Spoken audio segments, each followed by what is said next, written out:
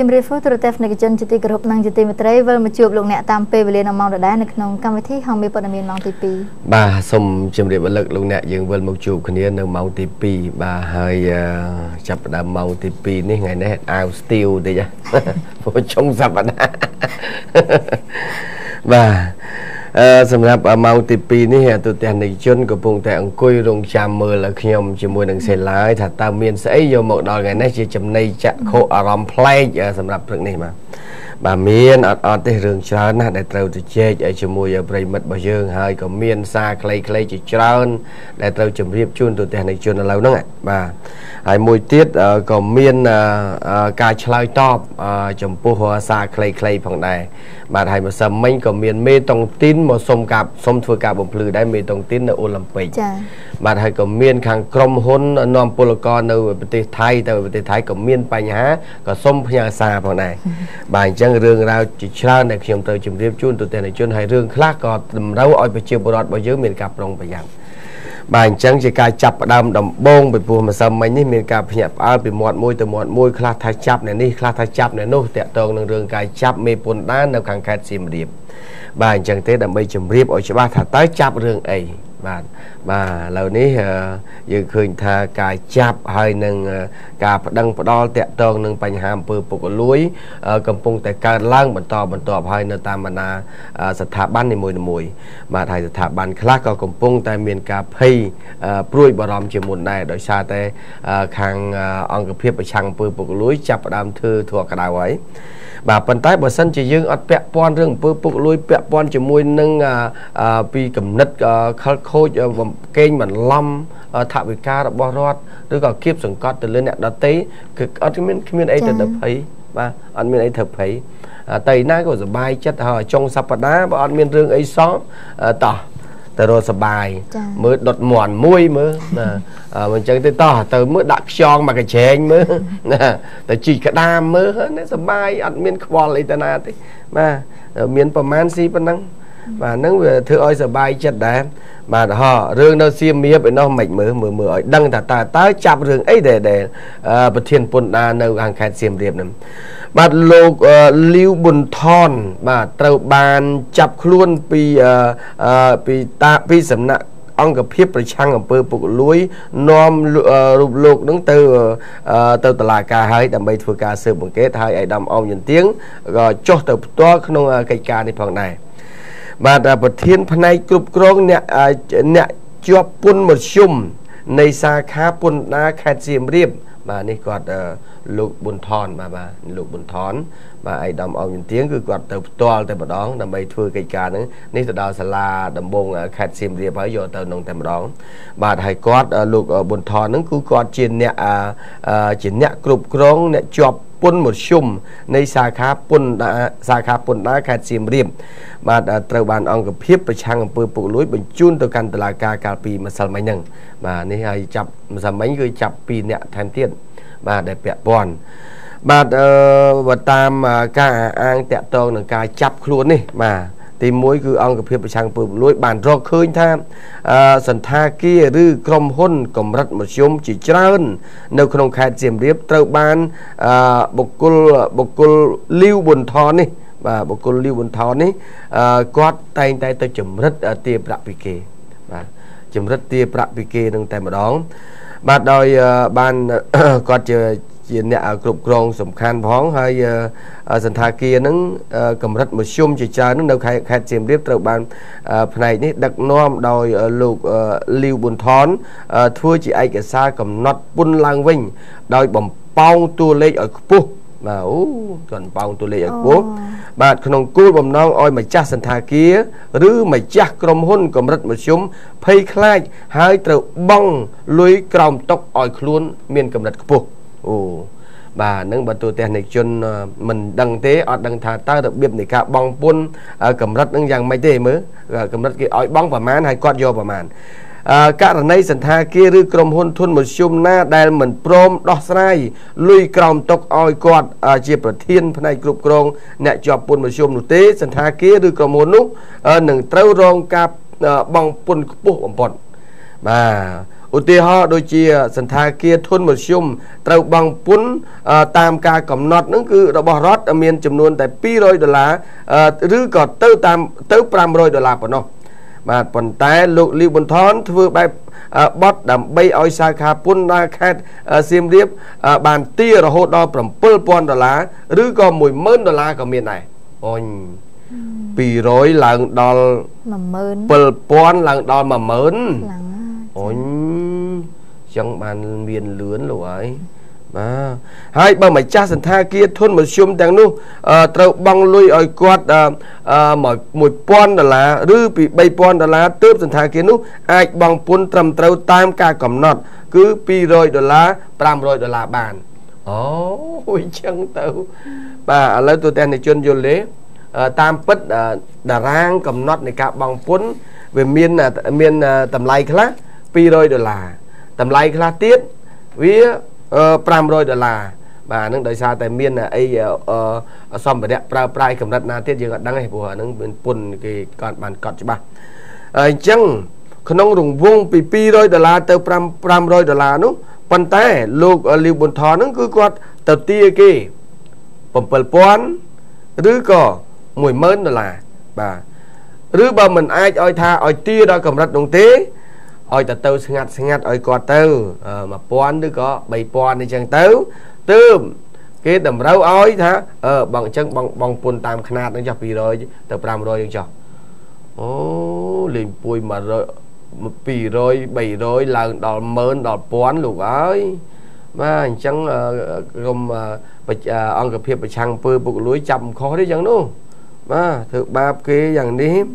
តែយ៉ាងណាក៏ដោយមន្ត្រីពន្ធដាររូបនេះស្ថិតក្រោមការស៊ើបសួររបស់តុលាការនៅឡើយទេប៉ុន្តែមជ្ឈមណ្ឌលអឺប៉ុន្តែមជ្ឈដ្ឋានខ្លះគេបានធ្វើការសង្ស័យថាករណីពុករលួយរបស់មន្ត្រីពន្ធដាររូបនេះបើអង្គភាពប្រឆាំងពើពុករលួយបន្តស៊ើបអង្កេតឲ្យខ្លាំងនោះច្បាស់ជារោគឃើញអ្នកពាក់ព័ន្ធច្រើនអ្នកថែមទៀតពលគឺក្រុមអ្នកពុករលួយដែលនៅក្រោមប្រព័ន្ធរបស់គាត់អឺ បាទនឹងអ្នកពាក់ព័ន្ធបន្តបន្ទាប់ក្រោមអាវ៉ាតយ៉ាងណាទៀតនោះយើងអត់ដឹងទេទុកឲ្យខាងក្រមអង្គភាពប្រឆាំងអំពើពុករលួយបន្តធ្វើកិច្ចការនឹងតទៅទៀតទៅប៉ុន្តែនេះជារបាយការណ៍របស់អង្គភាពប្រឆាំងអំពើពុករលួយពួកយើងមិនបានដឹងពីកិច្ចការស៊ីជម្រៅទេពីព្រោះខាងអង្គភាពប្រឆាំងពើពលួយគេមានកាមេរ៉ាសុវត្ថិភាពមួយដែលសម្ងាត់បាទទៅយកលុយគេបាទទៅចរចាកំពុងចរចាតថ្លៃគ្នា ដាក់ក្រឹបតែម្ដងបាទឥឡូវរឿងនេះនៅខេត្តសៀមរាបថាតើនៅពេលខាងមុខមាននៅឯណាទៀតទៅណោះបាទកំពុងតែឆ្ងល់បាទអឺពីព្រោះអឺវាមិនមែនតែនៅខេត្តសៀមរាបមួយទេវាអាចមានទៅណាផ្សេងទៀតតែអានោះតាក់ទងនឹងខាងប្រឆាំងពើពុកលួយគាត់ស៊ើបអង្កេតមិនឲ្យយើងដឹងបាទខ្ញុំចាំតែដល់ពេលឃើញថាអូចាប់ហើយបាទប្រាវភ្លាម ផ្សាយឲ្យទូទាំងនិជនបានជ្រាបជាព័ត៌មានអញ្ចឹងថាមើលគាត់របៀបពុកអលួយរបៀបម៉េចមើលបាទអញ្ចឹងទូទាំងនិជនយល់ណាគាត់របៀបពុកអលួយទី1គឺគាត់តារាងតម្លៃបង់ពន្ធរដ្ឋមានកម្រិតកំណត់កម្រិតរបស់គេ មានកន្លែងខ្លះ200ដុល្លារខ្លះ500ដុល្លារតែនេះគេនិយាយសម្រាប់តែករណីសន្តាគារឬក្រុមហ៊ុនធុនមធ្យមបាទ អូចុះបើប្រភេទផ្កាយ5នោះចាបាទប្រភេទផ្កាយ5បែបពណ៌ហ្នឹងទៅបាទបើព្រោះធុនមធ្យមវា200ឬក៏500អញ្ចឹងបើធុនផ្កាយ5បែអាច1000 2000ហ្នឹងបាទព្រោះអត់មានតាតារាងហ្នឹងយើងអត់ដឹងអត់យល់ដែរបាទប៉ុន្តែគាត់មកយកគេ7000ទៅ10000ដុល្លារសហរដ្ឋអាមេរិកបាទហើយ7000 10000ដុល្លារបើនិយាយពីសម្រាប់អ្នកដែលអត់វិញណា បាទ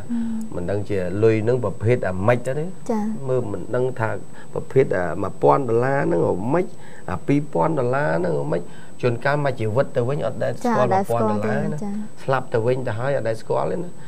ខ្ញុំជាក់ស្ដែងខ្ញុំទៅចែកអំណោយនៅជនបទលោកយាយចាស់ចាស់ដែលអត់ហ្នឹងពេលនោះដល់ពេលយើងអាលុយដូរលុយខ្មែររៀលរបស់យើងអស់ទៅដល់អញ្ចឹងខ្ញុំ ខ្ញុំឲ្យលុយកដាស់50ដុល្លារនោះដល់ឲ្យទៅគាត់មើលមើលអញ្ចឹងទៅគាត់ថាជុំអានេះលុយប្រទេសគេអូលុយប្រទេសគេហើយតិចគេអត់ចាយទៅបងតិចគេអត់ចាយទេហើយខ្ញុំក៏បានប្រាប់មេមេក្រុមនៅភូមិនោះថាបងមាននៅចិត្តនេះមានដូរថាអូផ្សារនៅឆ្ងាយហ៎បងអើយអត់អីតែចាំប្រាប់អ្នកចិត្តខាងឲ្យដូរឲ្យគាត់បាទគាត់ខ្លះគឺមានអ្នកខ្លះគាត់អត់ស្គាល់មែនបាទអត់ស្គាល់លុយដុល្លារទេ បាទទោះបីតែអីគេចាយវាពេញប្រទេសមិនក៏គាត់នោះណែនៅតែអត់មាននឹងជនបទនៅតែគាត់អត់ស្គាល់ដដែលហ្នឹងបាទអ្នកមួយចំនួនតូចនោះនៅតែអត់ស្គាល់ដដែលហ្នឹងបាទគាត់តែលឺលឺថាគេដុល្លារដុល្លារតែអត់ដែលបានកាន់ចាតែប៉ុណ្្នឹងឯង បាទនេះតកតងអំពីបញ្ហាអំពើពុករលួយ ដែលបានកើតឡើងនៅឯខាងខេត្តសៀមរាបតាមពិតទៅខ្ញុំយប់មិញក៏បានផ្សាយនៅព័ត៌មានពេលយប់ដែរប៉ុន្តែដោយសារតែយើងចង់បញ្ជាក់បន្ថែមទៀតតកតងអំពីរបៀបនៃការអំពើពុករលួយដែលគាត់ធ្វើនៅខាងនោះវាយ៉ាងម៉េចខ្លះ បាទអញ្ចឹងការកេងបន្លំតាមរយៈការចម្រិតទារប្រាក់ឲ្យបើសិនជាឲ្យបងតាមខ្ទង់កំណត់របស់រដ្ឋតលតែមានសំណូកឲ្យទៅប្រធានគ្រប់គ្រងអ្នកជាប់ពន្ធមធ្យមនឹងបាទព្រោះគាត់អ្នកគ្រប់គ្រងអឺអ្នកគ្រប់គ្រងជាប់ពន្ធមធ្យមបាទអញ្ចឹងតែកណាប្រភេទពន្ធមធ្យមអីហ្នឹងគឺលើគាត់ទាំងអស់ហើយ បាទតែបើកម្រិតខ្ពស់មានគេផ្សេងទៀតបាទកម្រិតមិនខ្ពស់អាហ្នឹងមកគាត់បាទតោះឥឡូវនេះងាកទៅខាងសេឡាម្ដងបាទចាំខ្ញុំបន្តក្រោយទៀតឥឡូវចូលទៅករណីដំបូងនេះគឺហ្វង់ហ្វៃតាមវាយប្លន់ត្រូវសមត្ថកិច្ចខាត់បាន5នាក់និងម៉ូតូ2គ្រឿង ជនសង្ស័យ3នាក់ជិះម៉ូតូដេញតាមម៉ូតូមួយគ្រឿងទៀតដែលជិះ2នាក់ហើយសម្លឹងមុខឌឺដងរួចហើយចុះទៅវាយប៉ុនប៉ងប្លន់យកម៉ូតូមិនទាន់បានសម្រេចត្រូវសមត្ថកិច្ចល្បាតប្រទះឃើញខាត់ខ្លួនទាំង5នាក់និងម៉ូតូ2គ្រឿងយកទៅហ្វាក់ហ្វូ ហេតុការណ៍នេះបានកើតឡើងនៅម៉ោង11យប់ថ្ងៃ19ធ្នូនៅមុខផ្សារទំនើបបាយ័នតាមមហាវិថីសហពរហ្វីសង្កាត់មនោរមខណ្ឌ7មករាហើយប្រភពព័ត៌មានពីជនរងគ្រោះឈ្មោះអង្គឧត្តមភេទប្រុសអាយុ33ឆ្នាំ ជាមន្ត្រីសមត្ថកិច្ចបានឲ្យដឹងថាមុនពេលដែលកើតហេតុគាត់ជិះម៉ូតូ Wave Alpha ពណ៌ខ្មៅដឹកប្អូនប្រុសម្នាក់គឺទិសដៅនឹងពីលេខតកើត ហើយមកដល់ចំណុចមុខទីស្តីការគណៈរដ្ឋមន្ត្រីស្រាប់តែមានជនសង្ស័យ3នាក់ជិះម៉ូតូ Step ពណ៌សជិះដេញតាមពីក្រោយរួចហើយជិះនៅទន្ទឹមគ្នាសម្លឹងមើលមុខចាគ្នាចុះឡើងគណៈដែលជិះទៅមកគណៈដែលជិះទៅចាដល់មុខហ្វាទំនើបបាយ័នស្រាប់តែជនបង្កបាននិយាយថា ឯងសម្លឹងមុខអញចាធ្វើអីហើយលោតចុះពីលើម៉ូតូនាំគ្នាវាយទៅលើជនរងគ្រោះទាំងពីរនាក់ធ្វើឲ្យមានការបតាយបតប់ចាស្រាប់តែកម្លាំងល្បាតនគរបាលនិងកងរាជអាវុធហត្ថខណ្ឌ7មករាប្រទេសឃើញបានធ្វើការខត់ខ្លួនជនបង្កនិងជនរងគ្រោះរួមទាំងម៉ូតូ2គ្រឿងយកទៅហ្វាហ្វូយកទៅហ្វាក់ហ្វូនៅអធិការដ្ឋានខណ្ឌ7មករាបាទបានមើលមុខដែរអឺមុនដំបងជន3នាក់ហ្នឹងជិះមកមើលមុខគេហ្វិន ដល់ពេលមើលមុខធម្មតាកាលណាដែលគេជិះម៉ូតូន្ទឹមយើងក្លែកមើលមុខគេវិញណាធម្មតាចាដល់ពេលអញ្ចឹងគេយកលេសថាមិញឯងមើលមុខអញធ្វើអីចាចង់អញ្ចឹងណាយើងមើលគេបានតែគេមើលអត់បានទេចាអញ្ចឹងឲ្យគ្នាជិះម៉ូតូបិទភ្នែកយ៉ាងម៉េចហ៎ចមុខអីមានតម្លៃហ្នឹងទៅបាទវាស្ថិតតែអញ្ចឹងបានយកបាក់បាក់ដែលមានបញ្ហាគឺដោយសារតែបញ្ហាមើលមុខអត់បានហ្នឹងមក បាទប៉ុន្តែអាមួយគ្រាន់តែកលេចមើលមុខធម្មតាវាមិនអីទេតែអាមួយទៀតមើលមុខឌឺអាមើលមុខឌឺអាហ្នឹងគេវាយហើយអាហ្នឹងវាមានអាឌឺវាមានអាអត់ឌឺហើយពេលខ្លះទៀតភ្នែកគ្នាសលេវដល់ពេលមើលទៅរៀងសលេវចេះថាគ្នាឌឺដល់ពេលខ្ញុំធ្លាប់ជួបម្ដងក៏មុនរឿងរ៉ាវនៅបឹងកេងកងបាទដល់បឹងកេងកងក៏នោះរឿងចាប់បត់ល្មើសស្អីទេខ្ញុំទៅយកព័ត៌មាននៅបឹងកេងកង ដល់ពេលទៅយកព័ត៌មានគេពងតែធ្វើការងារនេះប៉ូលីសកំពាត់ជុំវិញហើយអ្នករੂមើលមើលពីចម្ងាយមកដល់មួយវិញដល់ទៅដល់នេះគេពងធ្វើការថាពុំបៃគ្នាដល់វាយគ្នាខ្ញុំទៅដល់ថតដល់ពេលទៅថតគាត់ថារឿងអីគាត់ថាមើលមុខដល់មើលមុខអានោះថា ខ្ញុំមានមើលមុខណាបងខ្ញុំមើលទៅកើតទៅហើយគាត់ថាខ្ញុំមើលមុខគាត់ហើយគាត់សលេវសលេវចេះថាមើលឌឺតាមពិតមុខគាត់មុខគាត់ឌឺចង់ឲ្យតែគេវាយវាចឹងណែធម្មជាតិចេះបង្កើតឲ្យគ្នាឲ្យមុខឌឺណាឃើញគេឃើញមុខចង់វាយអាម៉េចមែនតាមានតាមុខគេអត់ធ្វើអីយើងតែឃើញមុខតែចង់ទៅវាយ អាចឥឡូវបើបើឲ្យបើបើថាមុខគ្នានឹងវាវាអត់អំណោយទៀនហើយឲ្យគ្នាបិទមុខដើម្បីដាក់អីវិញឥឡូវនេះយកសាច់កាប៉េះគូតមកបិទស្ពាល់ហ្នឹងមានគេថាធ្វើមុខធ្វើមាត់ឯណាមានអាសាច់ឯណាយកមកប៉ាតឯណាអញ្ចឹងពេត5ហើយខ្ញុំបើសិនជាចង់ធ្វើមុខធ្វើមាត់អីយកសាច់មកដាក់ដាក់សាច់ឆ្លុះ ព្រោះសាច់មានតម្លៃសាច់ថ្លៃអត់ដាក់សាច់ឆ្កែទេចឹងបាទចឹងបាទគាត់និយាយរឿងសាច់ឆ្កែខ្ញុំទៅជួបជាមួយនឹងអឺបងបងយើងគាត់លើកឡើងពីរបៀបសាច់ឆ្កែគាត់ថាចែកគាត់ថាអឺនៅហាងមួយហ្នឹងស្រាប់តែទៅដល់គាត់កំងឆ្កែមួយចាដល់យើងមកកំងឆ្កែមួយប៉ុន្តែមុនពេលមកដល់ហាងហ្នឹងគឺហាងហ្នឹងសម្រាប់តែសាច់ឆ្កែចា ដល់ពេលមុនពេលមកដល់គឺគាត់មានលេខទូរស័ព្ទហើយអឺឯងមើលធ្វើអីនេះវើអញប្រហែលជាម៉ោង4កន្លះល្ងាចអាសៀលលេងតិចទៅដល់ណាហើយនោះគេនៅថាបាទបាទបងបាទចាំមេធំផងចាបាទកំងទៅដល់ចាប់ដល់ពេលម៉ោង4ជាងហ្នឹងទៅដល់មែនទៅដល់មែននោះរៀបចំអីតុកអីស្រួលបួលឡាដល់ពេលចាប់ដើមអឺ អាពួកម្ចាស់ហាងហ្នឹងម្ដងហ្នឹងមិនក៏វាធ្វើអឹមអៀនអឹមអៀនអឹមអៀនអត់អត់ព្រមមកនេះសោះវាខ្លាចខ្លាចចឹងដល់ហ្នឹងព្រោះអានេះវាធម្មតាអឺតែឃើញភ្ញៀវមកវារស់រាយរាក់ទាក់ហើយដល់ពេលកំងវាប្រហែលម៉ោងហើយដល់ពេលមកដល់វាធ្វើអឹមអៀនអឹមអៀនអត់ហ៊ានបាទចាមេចាហាងទៅហើយបាទបងបាទនៅនោះហើយមិញមកបាទបាទបាទហើយមែធ្វើរួចណាស់តារួចហើយបងរួចហើយធ្វើរួចហើយអាចចរួចមិនព្រមយកមក ថាឆ្កែរួចបាត់ហើយ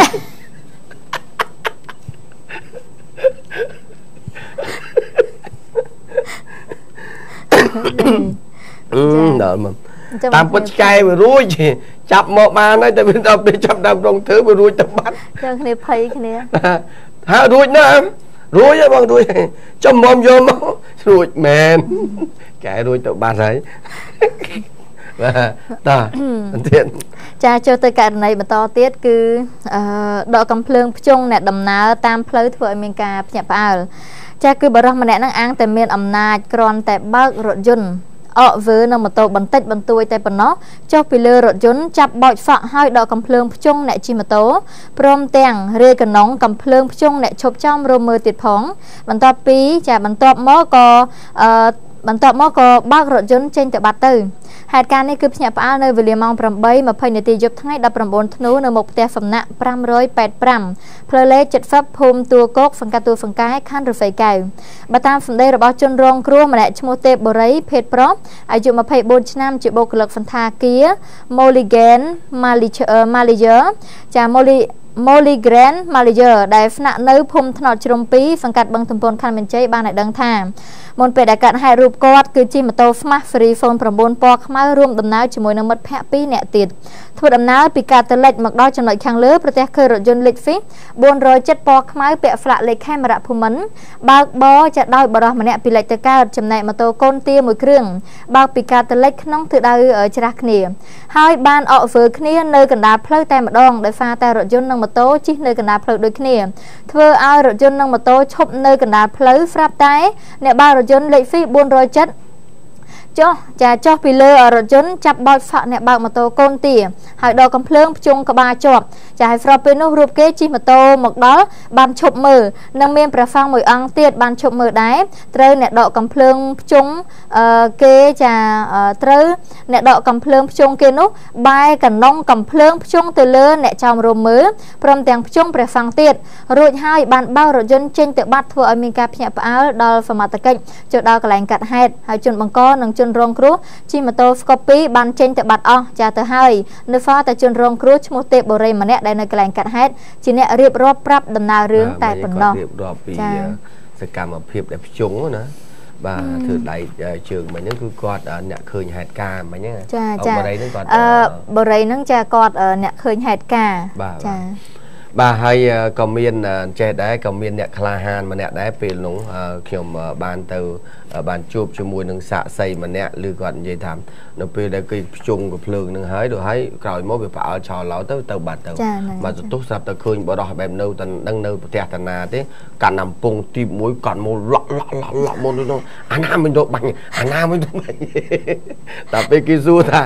ចំមកឯងពងទីនឹងគេកំភ្លើងហ៊ានដែរ អេអញមិញឮតំណឹងថាអាខ្មាន់កំភ្លើងវាទៅបាត់ហើយបានអញអញហ៊ានកាន់ពងទីបមកមែនអីចាគាត់ធ្វើក្លាហានព្រោះដឹងតំណឹងថាកាន់កំភ្លើងវាទៅបាត់ហើយលោកកាយកាន់ចុះអាណារបាញ់មិញកាន់ពងទី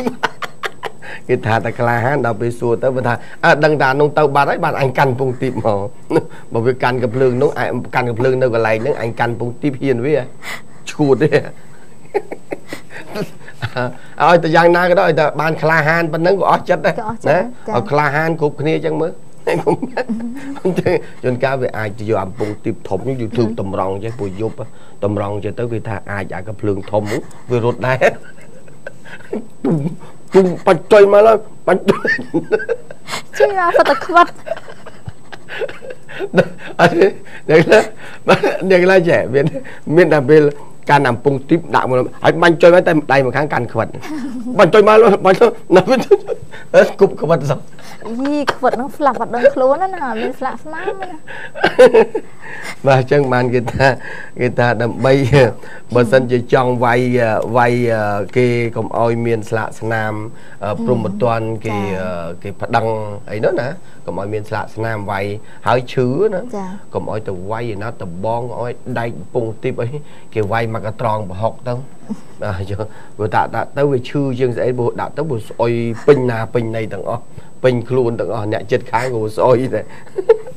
គឺត្រង់បោកយកត្រង់បោកវាយតែស្អុយណាចែកដនអ្នកត្រូវគេវាយជួយចិត្តបោកមិនធ្វើមិនទៅតែមានកម្លាំង ចាតាឥឡូវចូលទៅរឿងគ្រោះថ្នាក់ចរាចរណ៍ម៉ូតូនិងម៉ូតូបុកគ្នារបួសធ្ងន់4នាក់តែម្នាក់មិនព្រមទៅមន្ទីរពេទ្យដោយសារតែអត់មានលុយចឹងហើយណាស់មានអ្នករងរបួសធ្ងន់4នាក់ក្នុងហេតុការណ៍គ្រោះថ្នាក់ចរាចរណ៍បង្កឡើងរវាងម៉ូតូនិងម៉ូតូបុកគ្នា នៅមុខហាងលក់សាច់គោអាំងនិងពុះគោទឹកប្រហុកតាមផ្លូវលេខ2004ស្ថិតនៅក្នុងភូមិអូបៃក្អមផ្ទះលេខ99សង្កាត់ទឹកថ្លាខណ្ឌហ្វេនសុកកាលពីវេលាម៉ោង10:35នាទីយប់ថ្ងៃទី19ធ្នូអ្នកឃើញហេតុការណ៍បានដឹងថាម៉ូតូ Fame 125 04ពណ៌ក្រហមជា3នាក់ជាអ្នករត់ម៉ូតូដប់បើកបរដោយឈ្មោះ Red រ៉ាត់ភេទប្រុសអាយុ24ឆ្នាំមុខរបរគឺរត់ម៉ូតូដប់ដឹកភ្ញៀវ2នាក់ពីការតលិចរួចហើយបត់ឆ្វេងឆ្លងផ្លូវទៅបុកជាមួយនឹងម៉ូតូ Fame 125 Free Zone 10ពណ៌ខ្មៅជាម្នាក់ឯងពីលេខតកើតបណ្ដាលឲ្យដួលបែកមុខបែកមាត់ទាំងអស់គ្នា ក្រោយពេលកើតហេតុអ្នករងរបួសបែកមុខបែកមាត់ទាំង4នាក់ត្រូវរថយន្តសង្គ្រោះ Clinic ឯកជនដឹកយកទៅព្យាបាលតែក្នុងចំណោម4នាក់នោះមានអ្នករងរបួសម្នាក់ជាអ្នករត់ម៉ូតូដប់ចាមិនព្រមឡើងរថយន្តសង្គ្រោះទៅព្យាបាលទេដោយប្រាប់ថាគាត់អត់មានលុយប៉ុន្តែក្រោយមកបុគ្គលិករបស់ Clinic ឯកជនបានជិះម៉ូតូដឹកជនរងគ្រោះយកទៅព្យាបាលរបួសដែរចាហើយម៉ូតូទាំងពីរគ្រឿងសមត្ថកិច្ចយកទៅរក្សាទុកធ្វើការដោះស្រាយនៅអធិការខណ្ឌ Fenfox ទៅតាមផ្លូវច្បាប់ហើយចាអាណិតគាត់ដែរគាត់អត់មានលុយ ចាអត់លុយសងទេអត់លុយព្យាបាលគាត់ហ៊ានឡើងទៅព្យាបាលថ្លៃចាទៅដល់ពេទ្យថ្លៃចាចាបាទលុយទៅ ចាចូលទៅមួយករណីទៀតគឺជិះម៉ូតូលឿនពេកបុកគ្នារងរបួសធ្ងន់2នាក់ស្រាម្នាក់ហើយម្នាក់ទៀតវិញគឺរត់គេចខ្លួនម៉ូតូពីរគ្រឿងបើកបរក្នុងទិដៅស្របគ្នាហើយជិះលឿនដូចគ្នាបណ្ដាលឲ្យគៀគ្នា ចាដួលរងរបួសធ្ងន់2នាក់ស្រាម្នាក់ចំណែកម្នាក់ទៀតគឺគេចខ្លួនបាត់គ្រោះថ្នាក់នេះបានកើតឡើងនៅមុខផ្ទះលេខ20ចានៅមុខផ្ទះលេខ260អឺហ្វ្រូផ្លូវលេខ253កែង182សង្កាត់ទឹកឡក់ទី3ខណ្ឌទូកកនៅវេលាម៉ោង11:40នាទីយប់ថ្ងៃទី19ធ្នូ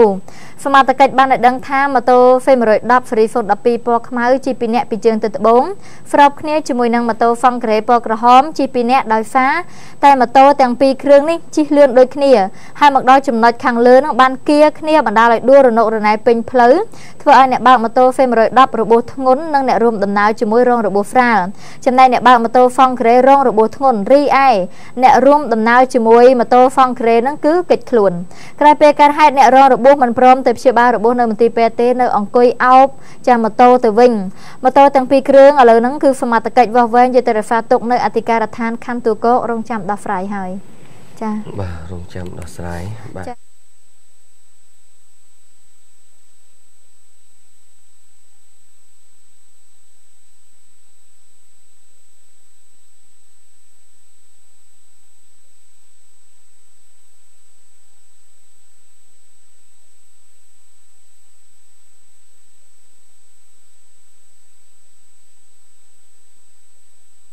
អត្រាឈិនចូលថ្ងៃទី20ខែ ធ្នូចានៅលើស្ពានស្ទឹងមញ្ជ័យតាមវិធីព្រះមនីរ៉េតក្រុម28ភូមិ20សង្កាត់ទំនប់ទឹកខណ្ឌចំការមនប្រភពព័ត៌មានបានឲ្យដឹងថាម៉ូតូស្មាស់វីពណ៌ខ្មៅបបោដោយបរោះម្នាក់ចាក្នុងស្ថានភាពនឹងស្រវឹងជិះទៅខាងឆ្វេងដៃពីកើតទៅលិចទៅបុកម៉ូតូវេពណ៌ក្រហមជិះពីលិចទៅកើតក្នុងទិសដៅច្រាស់គ្នាពេញទំហឹងបណ្ដាលឲ្យដួលរងរបួសធ្ងន់ទាំងសងខាងហើយក្រោយពេលកាត់ហេតុអ្នកបើកម៉ូតូវេបញ្ជូនទៅព្យាបាលនៅមន្ទីរពេទ្យមិត្តភាពខ្មែរសូវៀតចំណែកអ្នកបើកម៉ូតូស្មាស់វីមិនព្រមទៅព្យាបាលនៅមន្ទីរពេទ្យទេគឺរងចាំបងប្អូនដឹកយកទៅព្យាបាលដោយខ្លួនឯងហើយម៉ូតូពីរគ្រឿងសមត្ថកិច្ចក៏វាស់វែងហើយយកទៅរក្សាទុកនៅអធិការដ្ឋានខណ្ឌចំការមនចា៎បាទឥឡូវនេះយើងតាក់ទងនឹងរឿងវគ្គទី1នេះគឺមានគ្រោះថ្នាក់ចរាចរណ៍ បាទមានបទល្មើសពាក់ព័ន្ធបញ្ហាអំពើពុករលួយ បាទរួមជាមួយគ្នាបាទឥឡូវនេះចុងក្រោយនេះគឺជាសារខ្លីហើយជាការឆ្លើយតបរបស់មេតុងទីន ដោយសារកាលពីម្សិលមួយថ្ងៃថ្ងៃនេះឡាតាក់តងមេតុងទីននៅអូឡ িম্প ិកហេមសាមិញមានមេតុងទីនអត់មានទេ ម្សិលថ្ងៃទៅហើយបាទកាលពីម្សិលមួយថ្ងៃនេះយើងមានសារខ្លីមួយ ដែលកូនតុងទីន បានមកដល់កន្លែងរួចហើយគាត់បានលើកឡើងថាមេតុងទីនឈ្មោះអួនពិសីនិងប្រពន្ធឈ្មោះឈុនសុគន្ធា បានបោកប្រាស់កូនតុងទីនដែលមានតម្លៃទឹកប្រាក់ប្រមាណជាជាង1លានដុល្លារសហរដ្ឋអាមេរិក បាទហើយគាត់រត់បាត់ហើយគាត់តែចឹងក្រោយពេលដែលហងមាសបញ្ជូនសារខ្លីបង្ហើតាមខ្យល់អាកាសទៅក៏ស្រាប់តែមេតុងទីនរួមជាមួយនឹងប្តីប្រពន្ធគាត់បានអញ្ជើញមកដល់ស្ថានីយ៍ដើម្បីសុំធ្វើការបំភ្លឺតបបាទអញ្ចឹងឥឡូវទី1ការបំភ្លឺតបរបស់គាត់គាត់ចង់បញ្ជាក់ថាតកតងបញ្ហាការលេងតុងទីននោះតាមពិតគាត់គាត់អួនពិសីមិនមែនជាមេទេ តែទទួលស្គាល់ថាប្រពន្ធគាត់ជាមេតុងទីន គាត់គ្រាន់តែជាអ្នកសម្របសម្រួលឲ្យប្រពន្ធបាទគាត់លើកឡើងអញ្ចឹងបាទលោកអ៊ូនពិសីដែលជាប្តីរបស់លោកក្មួយស្រីឈុនសុគន្ធាបាទអញ្ចឹងគាត់ថាគាត់ជាអ្នកសម្របសម្រួលរឿងឯកសារខ្លះឲ្យប្រពន្ធរបស់គាត់ទេតែមេគឺប្រពន្ធរបស់គាត់ទេឈុនសុគន្ធាបាទអញ្ចឹងគាត់ថាតាក់ទងបញ្ហាថាលុយតុងទីនដែលជាង1លានដុល្លារនោះ គាត់ថាគឺជារឿងមិនពិតតាមពិតសាច់ប្រាក់ដែលលេងតុងទីនទាំងអស់នោះបើតាមគាត់គិតត្រួសត្រាសទៅប្រមាណជា60ម៉ឺនដុល្លារជាងប៉ុន្តែក្នុងចំណោម60ម៉ឺនដុល្លារជាងហ្នឹងក៏មានកូនមួយចំនួននោះបានបោកគាត់ដែររត់ចោលគាត់ដែរគឺតែមានទឹកប្រាក់គាត់ថាប្រមាណជាជាង19ម៉ឺនដុល្លារសហរដ្ឋអាមេរិកក្នុងចំណោម60ម៉ឺនហ្នឹងបាទអញ្ចឹងគាត់ចង់ប្រាប់ថាអឺ កូនតុងទីនដែលបានរត់ចោលគាត់ហើយជំពាក់គាត់គឺមានកូននឹងចំនួនដល់39នាក់បាទបានរត់ចោលគាត់ដែលមានសរុបទឹកប្រាក់ចំនួនជាង190,000ដុល្លារសហរដ្ឋអាមេរិកបាទអញ្ចឹងគាត់ថាសូម្បីតែកូនតុងទីនម្នាក់តែខ្ញុំមិនចាំឈ្មោះជាពាក់ដែលដែលរត់ចេញទៅជាពាក់គាត់នឹងរហូតដល់មកជាង220,000ដុល្លារប៉ុន្តែក្រោយមកគាត់ដឹងដល់ហើយ កូនរូបនោះក៏បានសងបន្តបន្តក្នុងចំណោមអឺ220000ដុល្លារជាងសងបានត្រឹមតែ60000ដុល្លារអញ្ចឹងធ្វើឲ្យគាត់រងគ្រោះបាទអញ្ចឹងគាត់ថាគាត់មិនមែនជាអ្នករត់ចោលកូនតុងទីនទេ តែកូនតុងទីនទេ ដែលបានបោកប្រាស់គាត់ច្រើន បាទអានឹងមេតុងទីនគាត់ថាអញ្ចឹងណាបងប្អូនដែលអ្នកលេងតុងទីននៅអូឡ িম্প ិកសូមជ្រាបជាព័ត៌មាននេះខ្ញុំនិយាយភាសាខាងមេតុងទីនដែលគេសុំមកបំភ្លឺមកសម័យហ្នឹងបាទគាត់បានបន្តទៀតថាក្នុងនាមគាត់ជាអ្នកមនុស្សថ្លៃថ្នូរគាត់មិនដែលកិច្ចវាចំពោះផ្លូវច្បាប់ទេតឡាការហៅពេលណាទៅពេលនោះ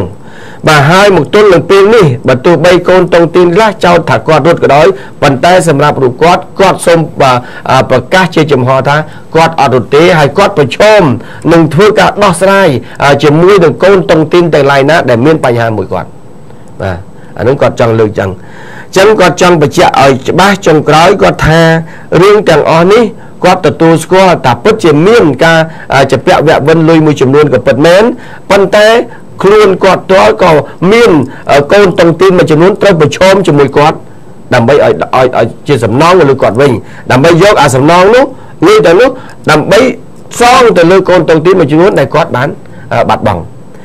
ទោះបីរឿងនេះបានដល់តុលាការក៏ដោយហើយថ្ងៃ27ត្រូវប្រកាសសាលក្រមក៏ដោយប៉ុន្តែមេតុងទីនឈ្មោះអ៊ួនលោកអ៊ួនពិសីជាប្តីនិងប្រពន្ធឈ្មោះឈុនសុគន្ធាគាត់បានបញ្ជាក់ថាគាត់នៅតែប្រឈមដើម្បីដោះស្រាយមានឆន្ទៈដោះស្រាយជាមួយប្រជាពលរដ្ឋជាកូនតុងទីនទាំងអស់គ្នាហើយ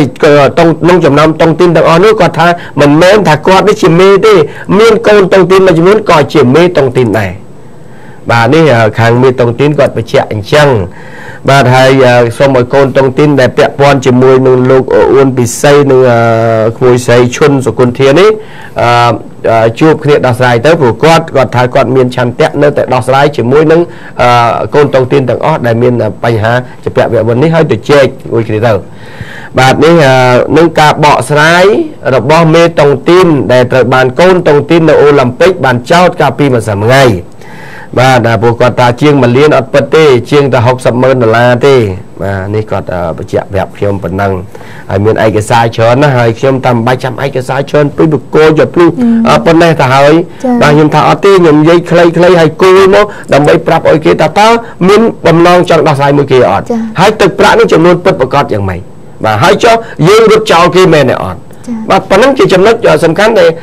ដែលកូនតុងទីនចង់ដឹង បាទឥឡូវកូនតុងទីនសូមជម្រាបសារនេះឲ្យទៅកូនតុងទីនទាំងអស់ថាមេតុងទីននេះគាត់ថាមានឆន្ទៈនៅតែបន្តដោះស្រាយជាមួយកូនទាំងអស់បាទនឹងសូមបញ្ចប់សាច់រឿងប៉ុណ្ណឹងណាព្រោះសារទៅមកទៅមកហើយតិចលោថាអីលោកឧទ្ធីលោកនិយាយខាងមេតុងទីននោះទៅដល់កន្លែងនេះនិយាយដូចច្រើនណា សង្ស័យតែបានមកបាច់ទេមិនទៅបានមកបាច់ឯកសារមកបាច់ទូស្គាល់ឯកសារមកបាច់តែសូមជម្រាបចេះថាហងមាសស្វាគមន៍ចំពោះការបំភ្លឺតែឲ្យដល់ការបំភ្លឺនឹងឲ្យវាសុឆន្ទៈយុទ្ធធម៌ទាំងអស់គ្នាទៅខ្ញុំសប្បាយចិត្តណាស់ទៅហើយហើយបើសិនជាបានបញ្ចប់បញ្ហាជាមួយនឹងកូនតុងទីននិងមេតុងទីនក៏កាន់តែល្អខ្ញុំអត់ចង់ឲ្យឃើញក្នុងនាមជាខ្មែរដូចគ្នាឆ្លោះគ្នាទេខ្ញុំចង់ឲ្យតែមុខឃើញស្រឡាញ់គ្នាអញ្ចឹងទៅបាទប៉ុន្តែមិនមែនស្រឡាញ់ដើម្បីទៅរំលោភទេប៉ុន្តែអាមួយស្រឡាញ់រំលោភអាមួយរំលោភសេចក្តីទុកចិត្តចាអាមួយរំលោភលើដីធ្លីបាទអាមួយទៀតរំលោភមែនតែនបាទលោភមែនតែនបាទអាមួយទៀតលោភដែរតែរំលោភលេងលេងអត់បានមាច់បាទនិយាយយូរយូរតឹងជាមួយមែនតើបាទអរគុណទូទាំងអ្នកជនឥឡូវនេះសូមពេលសម្រាប់បន្តិចសិនតិចទៀតយើងវិលមកជួបគ្នាបន្តទៀតបាទ